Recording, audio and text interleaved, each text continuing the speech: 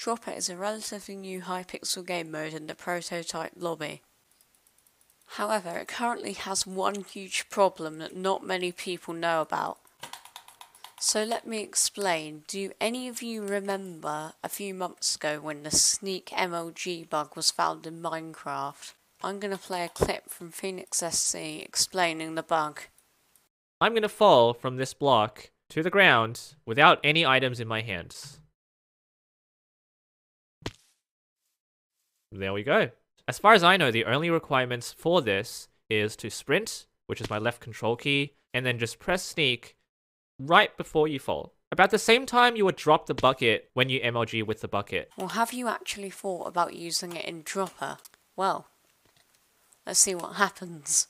You have to time to sneak as soon as you hit the ground. So when you know you're about to hit the ground, do it then.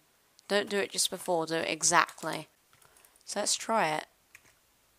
There we go. So we're currently on this gear, and nobody can get on here without dying. Yeah, Hypixel needs to fix this. This is way too OP. Think about it. I could just do this. so this bug pretty much allows you to skip levels completely. It is way too overpowered. With a few simple if statements in the Java plugins for Hypixel, it wouldn't be that hard to fix though.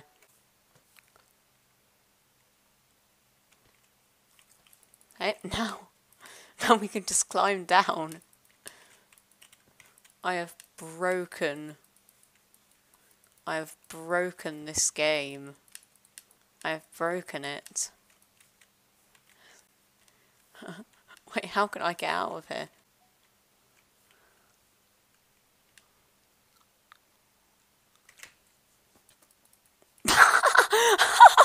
Wait, what?